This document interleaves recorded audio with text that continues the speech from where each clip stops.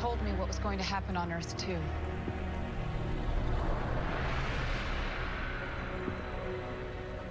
John was there. He could have been killed. The destruction of that Earth was a necessary sacrifice. And what about Laurel Lance? Her friends, her family? And countless more like them will perish if we do not ensure that Oliver Queen is prepared for what is coming. Were you successful? Yes.